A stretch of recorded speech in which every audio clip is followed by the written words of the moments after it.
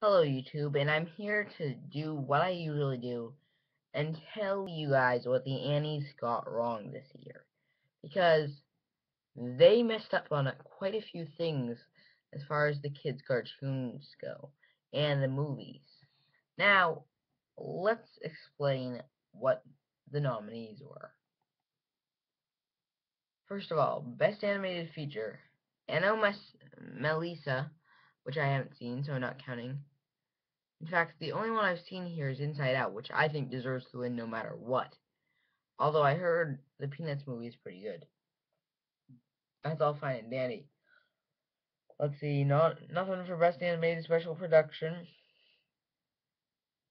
nor Short Subject. Um, not the commercials. Um, and I'm skipping preschool too.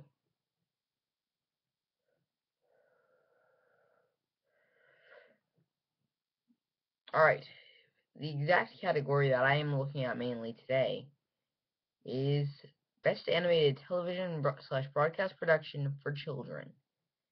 Now, I so here are the nominees: Clarence, Turtle Hats, Gravity Falls, Not What He Seems, Harvey Beaks, A Day of Not to Do, Sanjay and Craig, Street Dogg. Why was the show nominated?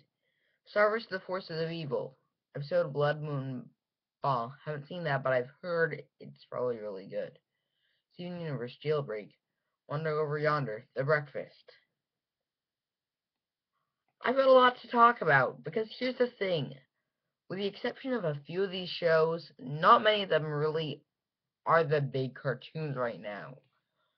The big cartoons right now, in my opinion, are Steven Universe, Gravity Falls, Star Wars Rebels, Adventure Time, as far as comedy goes, Gumball, and that's about it. I'm going to, and the new TMNT, of course. And the majority of those, oh, and Star versus the Force of Evil, I can say that is a good, is a great show, or good at least. I've never been the biggest fan of it, even though Eden Sher is awesome. Anyway, once again, as I'm gonna say, Clarence is a good show. It shouldn't be here, okay?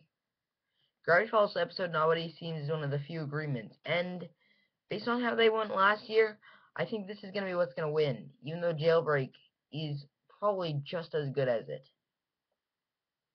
I mean, Jailbreak had one of the best songs and fight themes I've ever seen in my life. Let's see.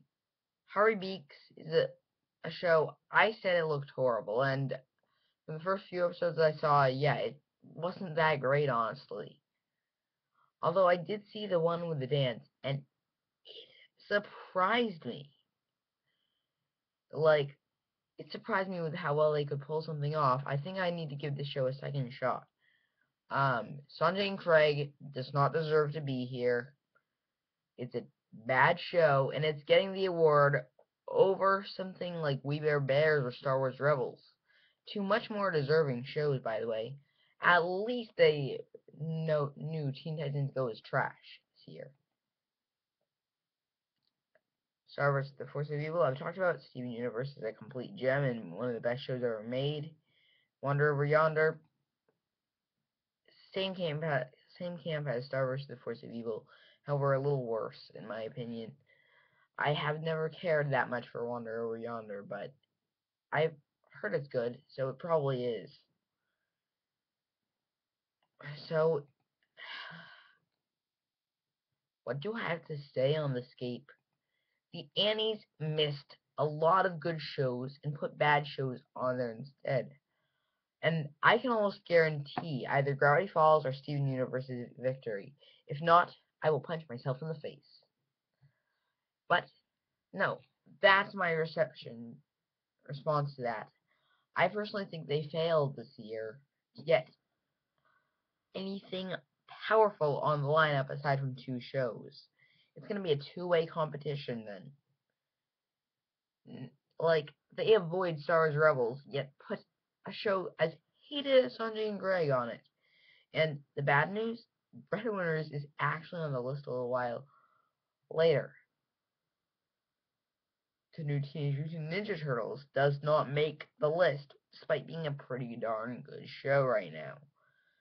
For example, they have had some great action, and it's Nick's true um, only good animated show right now. Anyway, I think I've talked too long. The Entertainment Lord is out.